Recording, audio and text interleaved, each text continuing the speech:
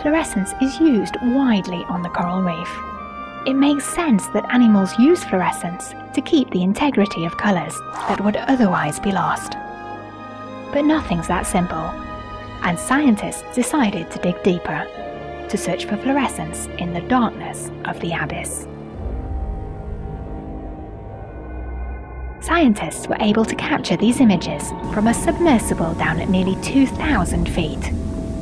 With over half a kilometre of water, hardly any light ever reaches this depth. So the scientists were excited to discover brightly fluorescent zoanthids.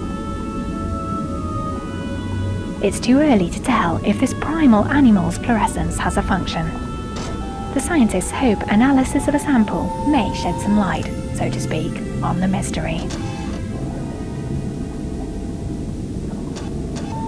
Only after collecting the sample did the team make a revolutionary discovery.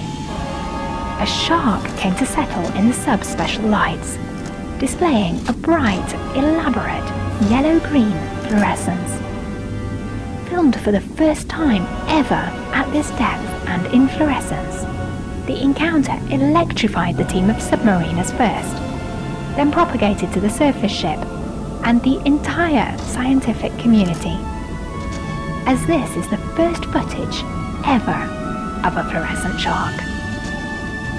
Why this chain catshark displays such fluorescence is a total mystery to science